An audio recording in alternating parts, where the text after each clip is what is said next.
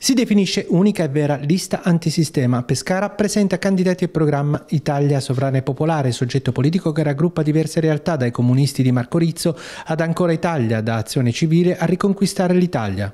Perché c'è bisogno di ritornare ad applicare interamente la nostra Costituzione come uscita dal 48. Italia Sovrana e Popolare ha nel nome il proprio programma. Noi siamo una Repubblica democratica eh, fondata sul lavoro e la sovranità appartiene al popolo. Tutti questi principi, soprattutto negli ultimi due anni, sono stati calpestati. Non siamo più una vera democrazia perché le decisioni non vengono prese in Parlamento, peraltro ormai è un malcostume quello di decretare con decreti governativi d'urgenza, quindi il Parlamento ratifica semplicemente e non abbiamo una sovranità perché per colpa della nostra adesione all'Unione Europea e per il servilismo nei confronti degli Stati Uniti le decisioni fondamentali vengono assunte al di fuori del nostro Paese per seguire interessi che non sono nostri, non sono sicuramente dei cittadini e del popolo italiano. E poi il lavoro, la nostra è una Repubblica fondata sul lavoro ma il lavoro qui non esiste più da troppi anni, 30 anni di normative che hanno precarizzato il lavoro, hanno liberalizzato, o, o anche un'imposizione fiscale che si è, è, abbattuta sul ceto medio, o non ci sono reali sostegni anche in queste situazioni di difficoltà, quindi bisogna ritornare proprio a partire dall'articolo 1 della nostra Costituzione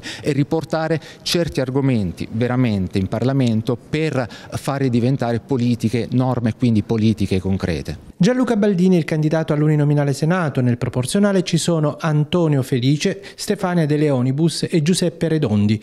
Nobile dell'Orefice, Lorenzo Donofrio e Daniela Franciosi, rispettivamente nei collegi Camera Chieti, Pescara Teramo e L'Aquila Teramo mentre in lista proporzionale ci sono Giovanna Coricciati, Lorenzo Donofrio, Paola Piccone e Umberto Mariani. Ma noi siamo molto fiduciosi perché abbiamo visto una risposta al nostro appello per la raccolta firme che è stata veramente eclatante. Qui in Abruzzo addirittura abbiamo raccolto le firme necessarie nel numero minimo in soli due giorni, ma anche in tutto il territorio nazionale noi siamo riusciti a, a presentarci in tutti i collegi, in tutti i collegi, in tutti i 49 collegi e quindi abbiamo, crediamo, ottime possibilità non solo di superare lo sbarramento del 3% ma anche di arrivare molto oltre.